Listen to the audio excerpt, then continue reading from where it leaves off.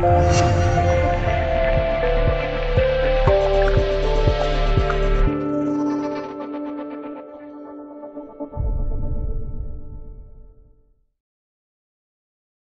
标题：值得警惕。日本电技数年的真航母终于来，起降 F 三五 B 以内入计划。日本是一个非常有野心的国家。众所周知，二战中日本侵略了多个国家，给整个南亚都带来了巨大的损失。而事后作为战败国，日本被限制发展军事武装，仅仅只能保留一些最基本的自卫武装力量，并且日本不能发展进攻性武器。这也是日本的军队叫自卫队的原因，但是日本海军的发展却远远的超出了其自卫的要求。目前，日本光是宙斯盾战舰就有十二艘，分别是秋月级四艘、金刚级四艘、爱当级两艘、二七 DDG 二艘，是除中国外亚洲宙斯盾战舰最多的国家。其中，爱道级和美国目前使用的宙斯盾战舰并没有什么区别。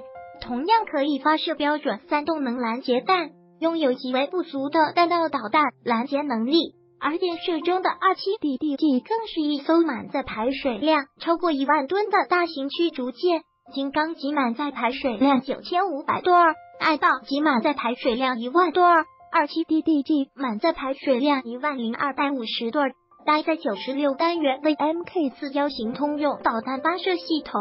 全舰采用全燃复合电推，整体性能十分先进。除了驱逐舰以外，日本还建了四艘直升机航母，分别是两艘日向级、两艘出云级。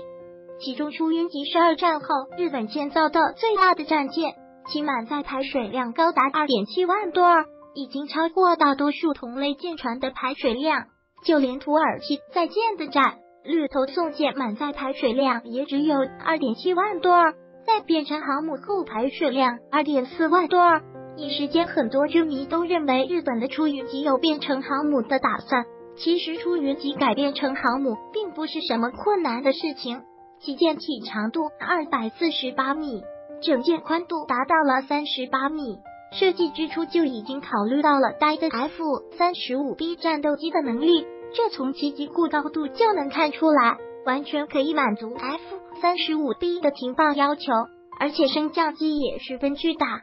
最重要的是，出云级直升机驱逐舰有两部升降机，除了甲板中间的一台升降机外，在舰岛后方还有一台侧舷升降机。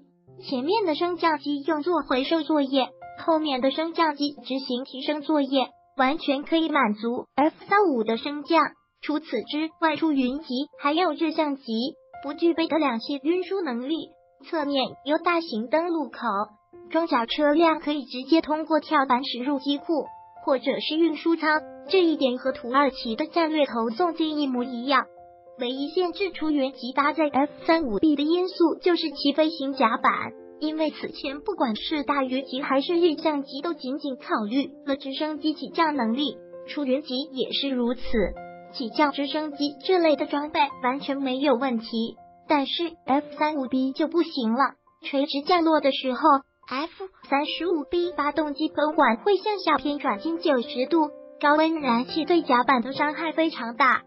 不过这可能是日本为了当时建造的时候避免过度刺激周边国家而做出的折中之举。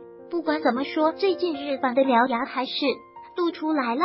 最近根据日本电视台播放的消息。日本打算对出云级直升机驱逐舰的甲板进行改造，以满足搭载 F 三五 B 的要求。再加上其两栖投送能力，出云即将是一艘不折不扣的多任务航母。这也直接暴露了日本海军的野心。我们需要高度警惕日本这种军国主义复辟思想。